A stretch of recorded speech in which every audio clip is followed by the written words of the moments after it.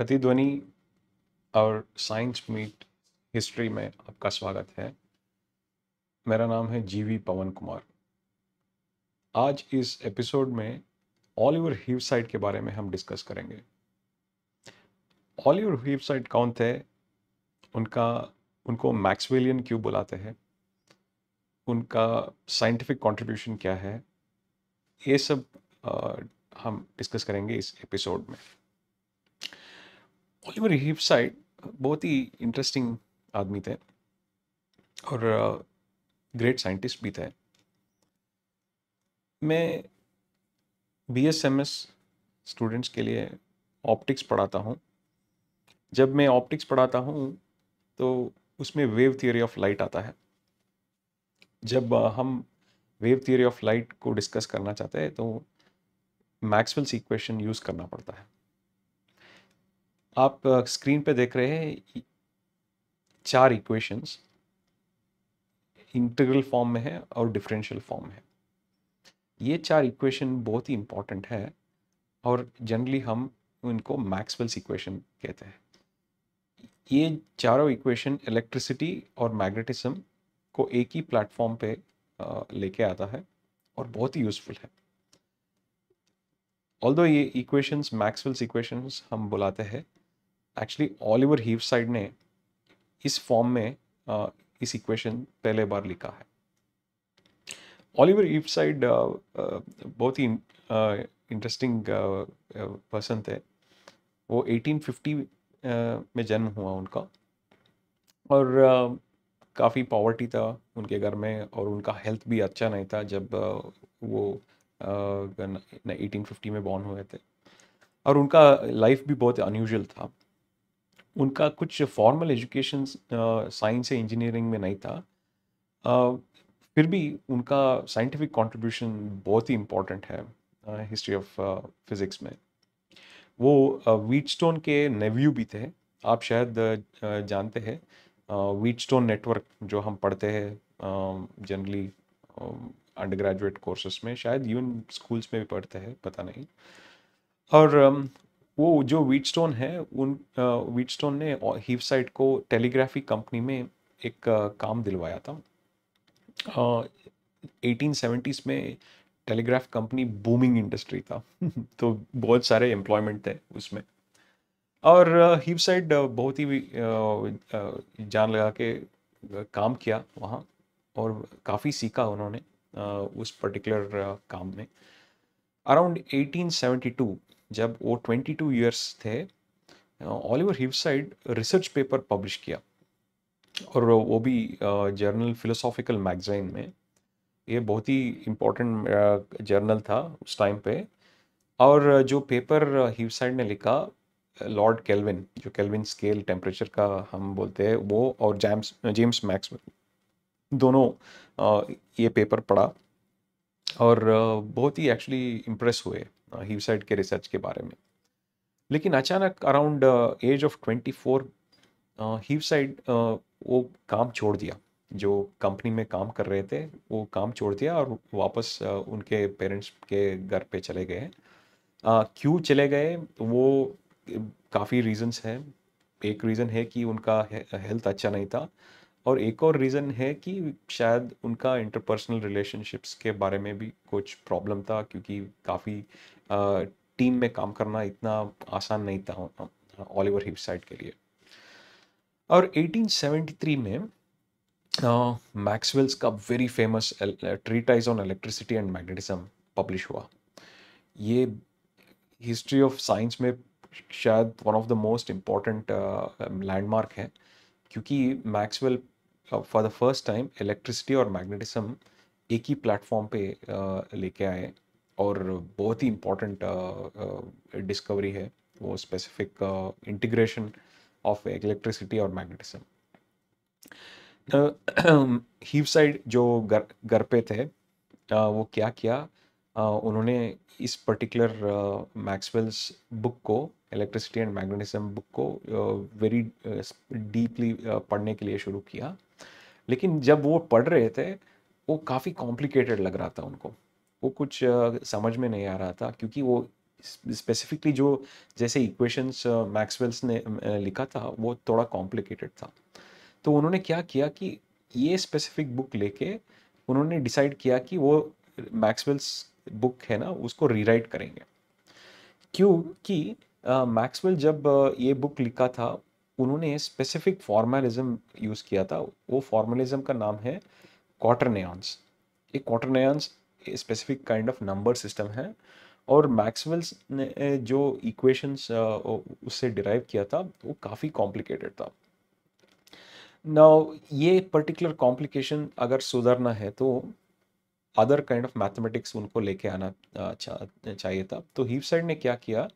कि ये जो फॉर्मलिज्म है, वो फॉर्मलिज्म लेके वेक्टर कैलकुलस में उन, उस इक्वेशंस को बदला। एक और इंटरेस्टिंग चीज़ है कि जब हीव साइड ये जो काम कर रहे थे गिब्स वो बहुत ही इम्पोर्टेंट साइंटिस्ट है स्टैटिस्टिकल मैकेनिक्स जब पढ़ते हैं गिब्स के बारे में हम काफ़ी कॉन्सेप्ट्स पढ़ते हैं, वो उसी टाइम पे गिब्स भी ऐसे ही फॉर्मलिज्म वेक्टर कैलकुलस के फॉर्मलिज्म उन्होंने भी सोच था वो भी लिख रहे थे लेकिन क्या किया कि वो उन्होंने पब्लिश नहीं किया। दिस इज़ इंपॉर्टेंट लेसन आप काम करेंगे और काम अच्छा हो तो आप पब्लिश करना इम्पोर्टेंट है वरना आपको कभी कभी क्रेडिट नहीं मिलता है। लेकिन गिब्स तो बहुत काफ़ी बड़े साइंटिस्ट हैं तो उनको क्रेडिट तो मिला। आ, तो हीव साइड और गिब्स दोनों ये स्पेसिफिक फॉर्मेलिज्म पुश किया साइंटिफिक कम्युनिटी के अंदर। और ये जो वेक्टोरियल फॉर्मेलिज्म जो हम देखते हैं, ये जो इक्वेशंस मैं दिखा रहा हूँ इंटीग्रल इक्वेशंस और डिफरेंशियल इक्वेशंस ये चार equation compact equations Gauss law Gauss law of magnetism Faraday's law और एम्पियस सर्क्यूट लॉ ये compact equations vectorial calculus framework में लिखा है। तो इसलिए बहुत इजी होता है इस, इसको यूज़ यूज़ करने में। और इसी से आप लाइट एक इलेक्ट्रोमैग्नेटिक वेव उसका डेरिवेशन भी एक्चुअली आप निकाल सकते हैं। तो काफ़ी पावरफुल इक्वेशंस हैं। सारे के सारे इलेक्ट्रिकल इंजीनियरिंग इलेक्ट्रॉनिक्स वगैरह भी इसी इक्वेशन से एक्चुअली डिराइव होता है। स्पेशल थियरी ऑफ़ रिलेटिविटी भी इस इक्वेशन से जुड़ा है। तो ये this is one of the most powerful ये काफ़ी इंपॉर्टेंट इक्वेशन है। तो अगर आप optics in a very deep way पढ़ना चाहते हैं तो ये इक्वेशन बहुत ही इम्पोर्टेंट है। और बहुत सारे डिफरेंट डिसिप्लिन ऑफ़ साइंस में भी ये इक्वेशंस यूज़ करते हैं। बायोफिज़िक्स में भी यूज़ करते हैं। तो इसका पावर बहुत ही ज़्यादा है। इंजीनियरिंग में भी बहुत बहुत यूज़ करते हैं। तो क्या है कि हीप साइड बहुत ही इंटरेस्टिंग आदमी थे, और बहुत सारे कॉन्ट्रीब्यूशंस थे हीप साइड के। One of the important contribution था इंडक्टिव लोडिंग आप शायद ट्रांसफॉर्मर्स वगैरह आप पढ़ेंगे तो थोड़ा टेक्निकल लैंग्वेज में इलेक्ट्रिकल इंजीनियरिंग में inductive loading is very important in fact load shedding तो शायद आपको पता रहेगा जब पावर शेड होता है लोड में। तो वो स्पेसिफिक लोडिंग और unloading inductive kind of circuits से बनता है। तो हीव साइड ने पहले बार ये स्पेसिफिक फॉर्मेलिज्म उन्होंने इंट्रोड्यूस किया और बहुत सारे डिफरेंट फॉर्मेलिज्म्स इलेक्ट्रोमैग्नेटिज्म में वो वो, इंट्रोड्यूस किया। वो क्या है कि जो ऐसे काम कर रहे थे उस टाइम पे काफ़ी लोग उनको नहीं माना। उन उन्होंने समझा कि इंडक्टिव लोडिंग इतना इम्पोर्टेंट नहीं है इतना यूज़फुल नहीं है। तो काफ़ी कंट्रोवर्सी था और काफ़ी फाइट्स भी थे। बहुत ही इंटरेस्टिंग टाइम था एटीन हंड्रेड्स में। इवेंचुअली uh, क्या हुआ कि ये concept of inductive loading general principle बन गया और ओलिवर और उनके भाई uh, दोनों मिला के ये स्पेसिफिक कॉन्सेप्ट डेमोन्स्ट्रेशन भी किया। एंड फाइनली uh, ये जो कॉन्सेप्ट है अभी डेली फिनोमेना बन गया है। तो इनिशियली बहुत बहुत रेजिस्टेंस था लेकिन बाद में ये सब specific concepts day to day use में बन गया है। तो हीप साइड बहुत ही प्रोलिफिक रिसर्च थे। उन्होंने तीन वॉल्यूम्स इलेक्ट्रोमैग्नेटिक थियरी के बारे में लिखा है और वेरियस इंटरेस्टिंग रिसर्च पेपर्स भी लिखा है। वो क्या है कि 20 साल तक कॉलम लिखते थे और ए स्पेसिफिक मैगजीन में uh, उस मैगजीन का नाम है इलेक्ट्रिशियन द इलेक्ट्रिशियन बीस साल थिंक अबाउट इट हम एक महीना या दस दिन के लिए डेली लिखना बहुत मुश्किल है लेकिन एक कॉलम बीस साल के कम काइंड ऑफ़ स्पैन में लिख रहे हैं तो काफ़ी फोकस था उन उनमें। और काफ़ी ब्रिलियंट थे। और उनका practical knowledge of electricity and magnetism भी बहुत अच्छा था। अराउंड uh, 1914 उनका थोड़ा एक्चुअली uh, डिप्रेशन uh, में चले गए। वो थोड़ा इल हेल्थ हो गया। इनफैक्ट अनफॉर्चुनेटली पैरानोया भी uh, आ गया। और मेंटल हेल्थ इश्यूज़ भी एक्चुअली uh, उनका काम में डिस्टर्ब हो, होने के लिए शुरू हुआ। और काम नहीं कर सके। और लास्ट टेन ईयर्स और सो में ज़्यादा काम नहीं कर सके। लेकिन उनका contribution even then was very very high unfortunately 1925 में ऑलिव हिवसाइड पास्ड हुए तो उनका देहांत हो गया। अगर आप हीवसाइड के बारे में और थोड़ा जानना चाहते हैं, और उनका साइंस के बारे में थोड़ा और जानना चाहते हैं तो मैं यहाँ रेफरेंस दिखा रहा हूँ। फैंटास्टिक रेफरेंस मेरे ओपिनियन में है ये हिस्ट्री ऑफ़ साइंस के व्यू पॉइंट पे लिखा है ये जो इक्वेशन है द मैक्सवेलियन आपको शायद पता चला पता है कि मैं इस एपिसोड शुरू किया आ, कि ऑलिवर हिवसाइड मैक्सवेलियन है। क्यों ऐसे बुलाते हैं मैं एक मिनट में बोलूँगा। और एक और सोर्स है कि Oliver Heaviside a first rate oddity ये फिजिक्स टुडे में पब्लिश हुआ है। इस पर्टिकुलर आर्टिकल का डिटेल्स बहुत अच्छा है। ब्रूस हंट ने ही लिखा है। इस पर्टिकुलर बुक का काइंड ऑफ़ स्मॉल समरी है ये आर्टिकल और बहुत ही इंटरेस्टिंग है। आप पढ़ना चाहते हैं तो ये लिंक देखिए ज़रूर इंटरेस्टिंग लगेगा। और पॉल नहीन भी एक बुक लिखा है Oliver Heaviside the life work and times of an electrical genius of the Victorian age वो भी इंटरेस्टिंग बुक है। तो मैक्सवेलियन क्यों बुलाते हैं? ऑलिवर हिपसाइड को। और और काफ़ी लोग थे जिसको जिनको मैक्सवेलियन बुलाते थे। For example FitzGerald Oliver Lodge और हेनरी हेंस हर्ट्स जो फ्रीक्वेंसी के यूनिट्स हैं हर्ट्स वो भी मैक्सवेलियन बुलाते थे। uh, क्यों ऐसे बुलाते हैं? वो वेरी इंटरेस्टिंग uh, कहानी है। और uh, इस पर्टिकुलर बुक जो है उस पर्टिकुलर बुक का इंट्रोडक्शन में स्पेसिफिकली वो फॉरवर्ड में एक और historian of science Peter Williams very interesting explanation देते हैं। वो बोलते हैं कि जब न्यूटन्स प्रिंसिपिया पब्लिश हुआ और मैक्सवेल स्ट्रीटाइज भी पब्लिश हुआ और साइंटिफिक कम्युनिटी पूरा कन्विंस नहीं थे कि ये स्पेसिफिक थियोरी जो आया है, वो ठीक है या आ, क्योंकि द मेन प्रॉब्लम है कि उसमें मैथमेटिक्स जो था वो इतना आसान नहीं था। इट वॉज़ क्वाइट कॉम्प्लिकेटेड जब मैक्सवेल uh, uh, उन्होंने लिखा उनका मोटिवेशन था कि फैराडे का विजन जो एक्सपेरिमेंटल विजन था वो मैथमेटिकल फिजिक्स फ्रेमवर्क में फिजिक्स काइंड ऑफ़ लिटरेचर में स्ट्रांगली काइंड ऑफ़ एंकर करना करने के लिए वो ट्राई कर रहे थे। तो मैक्सवेल्स पर्पस वो था।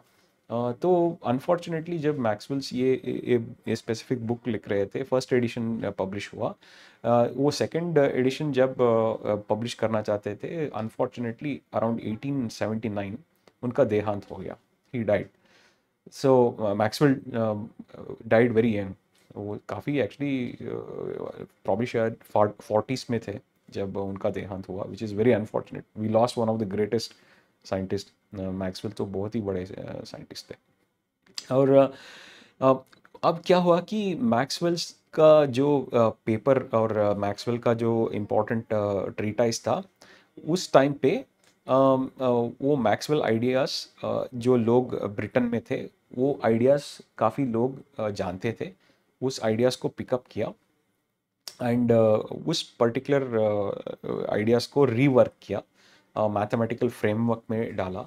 For example vector calculus framework में बहुत इंपॉर्टेंट काइंड ऑफ़ इक्वेशंस उन्होंने निकाला। एज uh, मैंने बोला था वो uh, चार इक्वेशंस जो मैक्सवेल्स uh, इक्वेशंस आप बुलाते हैं वो एक्चुअली ह्यूसाइड के फॉर्मलिज्म से आता है वेक्टर कैलकुलस के ज़रिए जब वो इक्वेशंस पब्लिश हुआ फिजिसिस्ट और बहुत साइंटिस्ट उसको बहुत ही पॉजिटिव व्यू में लिया। तो इसलिए ये सारे जो साइंटिस्ट हैं FitzGerald Oliver Heaviside Oliver Lodge और काफ़ी लोग उनको मैक्सवेलियन बुलाते हैं क्योंकि ये मैक्सवेल्स का आइडिया मैक्सवेल का आइडिया लेके बहुत ही इंटरेस्टिंग फ्रेमवर्क मैथमेटिकल फ्रेमवर्क लगा के आ, वो आइडियाज़ साइंटिफिक कम्युनिटी में बांट दिया और ये आइडियाज़ रेवोल्यूशनरी है और वेरी इंपॉर्टेंट है क्योंकि इंपॉर्टेंट आइडियाज़ लेके आप इजी फ्रेमवर्क में डालेंगे तो कम्यू साइंटिफिक कम्युनिटी में बहुत ही एक्चुअली आसान हो जाता है वो आइडियाज़ फर्दर डेवलपमेंट करने के लिए। This is an very important point scientific research में ये बहुत ही इंपॉर्टेंट पॉइंट है। जब नया आइडियाज़ आता है कभी कभी वो आइडियाज़ कॉम्प्लिकेटेड लगता है। लेकिन कुछ टाइम के बाद, काफ़ी लोग इस आइडिया को पढ़ने के बाद वो आइडियाज़ को सिंप्लीफाई करते हैं। जब सिंप्लीफिकेशन होता है वो आइडिया का वैल्यू कभी कभी ज़्यादा बढ़ जाता है। एग्जैक्टली exactly यही हुआ मैक्सवेल्स इक्वेशंस और मैक्सवेल्स थियरी इलेक्ट्रोमैग्नेटिक थियरी ये जो सारे साइंटिस्ट है ये मैक्सवेल्स का इक्वेशन लेके उसको रीफॉर्मुलेट किया और जो फॉर्मलिज्म हम uh, अभी uh, जानते हैं उसको इन्हीं लोगों ने एक्चुअली रीओरिएंट किया साइंटिफिक कम्युनिटी को। तो ये रही कहानी ऑलिवर हीवसाइड की। तो आप देख सकते हैं कि उनका लाइफ हिस्ट्री थोड़ा इंटरेस्टिंग है और लेकिन ऑल्सो समटाइम्स लिटिल ट्रैजिक क्योंकि उनका मेंटल हेल्थ इश्यूज़ भी थे। और साइंटिफिक कम्युनिटी में सब तरह के लोग होते हैं। वो इम्पोर्टेंट है हमको अप्रिशिएट करना। काफ़ी लोग जो होते हैं जो इंट्रोवर्ट रहते हैं मतलब वो शायद बहुत लोग उनसे बात नहीं करते लेकिन काम अच्छा करते हैं। काफ़ी लोग एक्सट्रोवर्ट भी हो सक हो, हो सकते हैं और कभी कभी इन बिटवीन कैटेगरी पे पे भी बहुत सारे लोग होते हैं। तो इसलिए the important message is that अगर एक इंपॉर्टेंट कॉन्सेप्ट डेवलप हो रहा है उसका सिंप्लीफिकेशन करना और अंडर इन डेप्थ अंडरस्टैंडिंग के बारे में आप लिख सकते हैं या रीओरिएंट कर सकते हैं न्यू फ्रेमवर्क में वो बहुत ही बहुत ही यूज़फुल रह, रहेगा साइंटिफिक कम्युनिटी के लिए। तो ये रहा ऑलिवर हीव साइट की कहानी। उम्मीद है कि आपको ये स्पेसिफिक हिंदी एक्सप्लेनेशन ब्लॉग के बारे में अच्छा लगा। आप देख सकते हैं कि मेरा हिंदी इतना अच्छा नहीं है। ट्राई कर रहा हूँ। काफ़ी लोग जब मैं सोलो पॉडकास्ट कर रहा था काफ़ी लोग फीडबैक दे रहे थे कि क्यों ना कभी कभी हिंदी में भी आप ये स्पेसिफिक सोलो पॉडकास्ट करें क्योंकि काफ़ी दिलचस्पी है स्टूडेंट कम्युनिटी में स्पेशली ये जो हिस्ट्री ऑफ़ साइंस के बारे में हम डिस्कस कर, करते हैं। तो इसीलिए मैं मैं ट्राई किया हूँ। एज मैंने बोला कही और कि मेरा मातृभाषा कन्नड़ा है लेकिन आ, हिंदी थोड़ा बहुत बात कर सकता हूँ लेकिन आ, फ्लो का प्रॉब्लम है क्योंकि अप्रोप्रिएट वर्ड्स मिलना थोड़ा मुश्किल है लेकिन मेरा उच्चारण शायद ठीक ठाक है लेकिन स्टिल वर्क इन प्रोग्रेस है। और इंग्लिश के वर्ड्स भी मैं यूज़ करता हूँ जब भी कभी जब भी मैं हिंदी बात करता हूँ।